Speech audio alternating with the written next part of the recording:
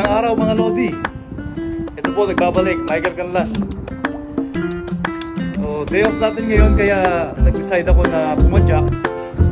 At ah, yung pupuntahan ko ay malapit lang, Mahabula Beach, which is 6 to 7 minutes bike ride. Kaya dala ko rin yung camera na gagamitin natin for our ah, ah, photography. At tignan natin kung gaano kaganda yung mga kuha na magagawa ko sa camera. By the way, gamit ko na camera is Canon EOS 250D. At first time ko siyang gagamitin outside. Tara na, samahan niyo ako. Sama-sama natin tuklasin ang ganda ng Mabula Beach. So by the way guys, ngayon, time check, 10.43 AM. At as usual, mag-isa lang naman ako. At may mga pasok yung mga kapadyak natin dito sa accommodation. Well, sila usually pare-pareho yung pasok kaya minsan sama-sama silang nagbabike. At uh, enjoy naman.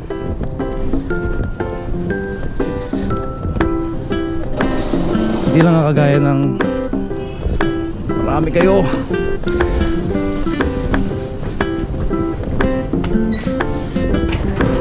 Tayo laging solo ride. Pero ngayon may purpose naman yung ating pagbike. Ating pag uh, padjak. Dahil itatry natin yung camera na Canon 250 D. Let's go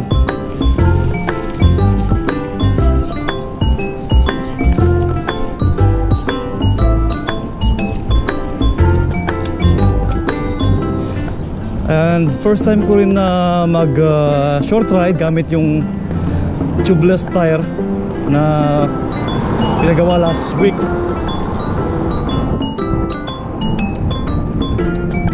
Actually, ilang days din yung pag-curing ng ating uh, gulong. Kasi nga, uh, sabi ni Koska, eh talagang mag-curing yung gulong after ng tubeless. So nakita naman natin after 3 or 4 days yata. Hindi na siya lumalambot. Sabi, araw-araw yung pagbomba ko ng gulong.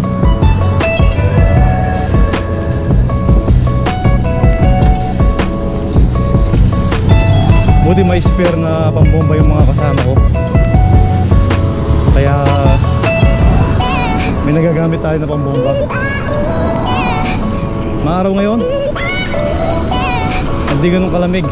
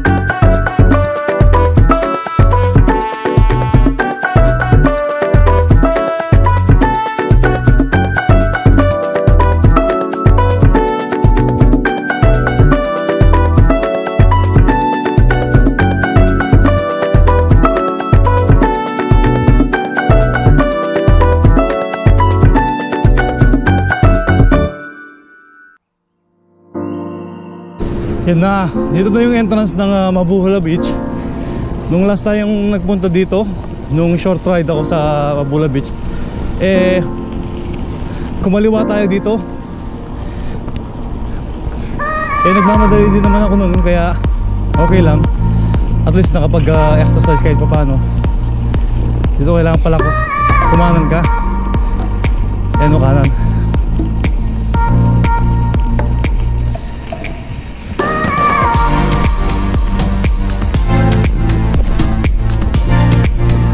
Kagandahan ng naka-tubeless na gulong is kayang-kaya mong pambangga yung gulong mo. Hindi ka natatakot na mapulatan. Hindi ka natatakot na mabutasan ng gulong.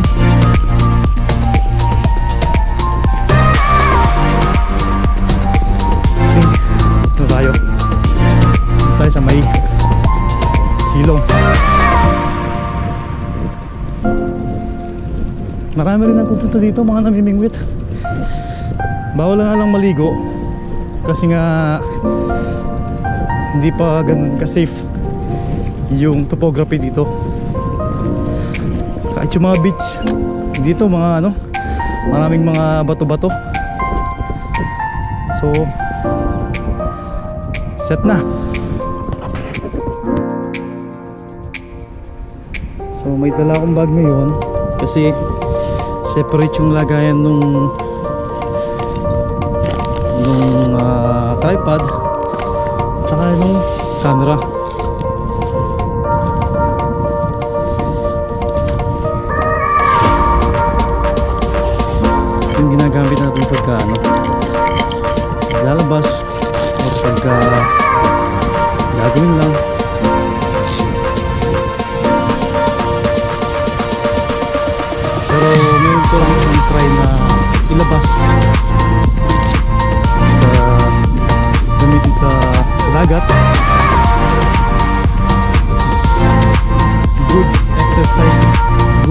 practice na rin. For me na nag-aaral ng photography.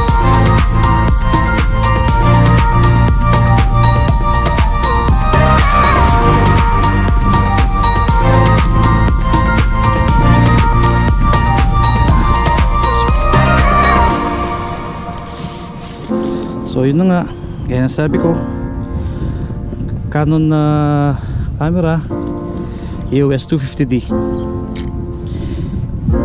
Hindi siya high-end na camera pero entry level na siya. So pwede siya magpagsabayan. Kon- Konting practice lang. At ma kakabisado rin. Paggamit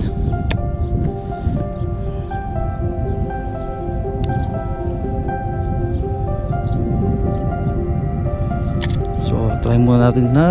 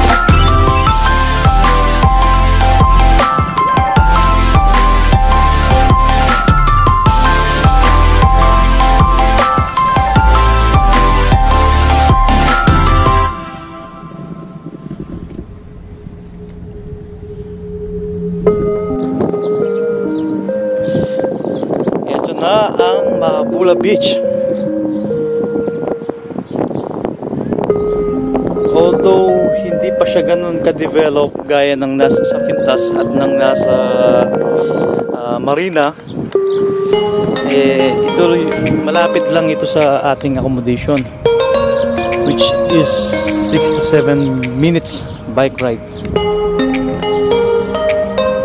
May mga ano rin dito mga namimingwit.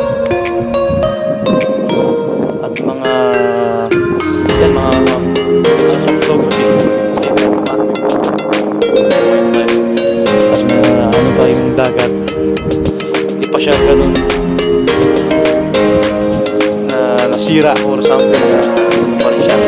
Well preserved. Kasi nga bawat pang maligo at bawal pang swimming dito sa public beach na ito.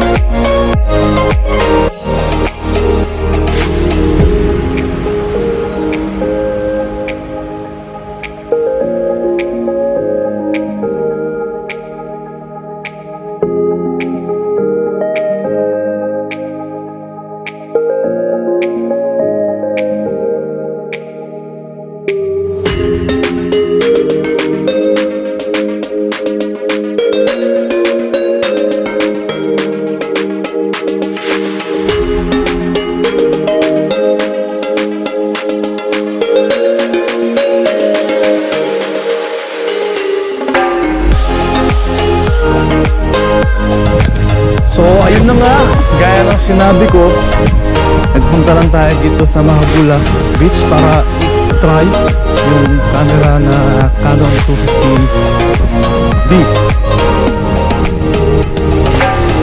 Okay naman yung mga kuha.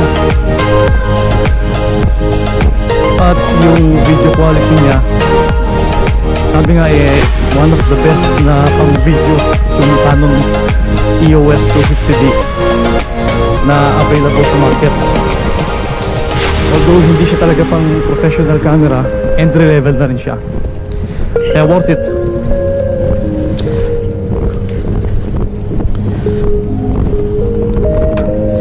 And uuwi na tayo.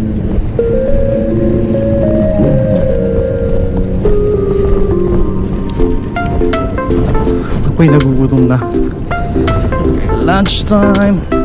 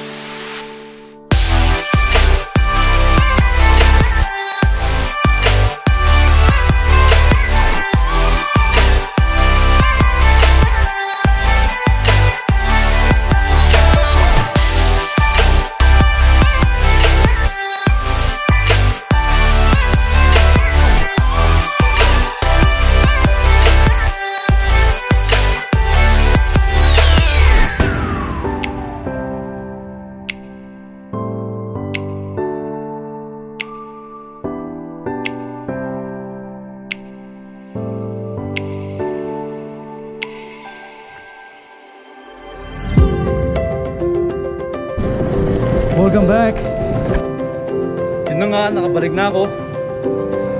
Ah, worth it naman yung naging ride natin.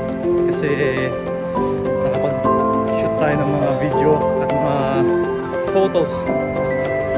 Try din natin yung camera. At samahan nyo ako muli sa susunod na Pajak. Stay safe.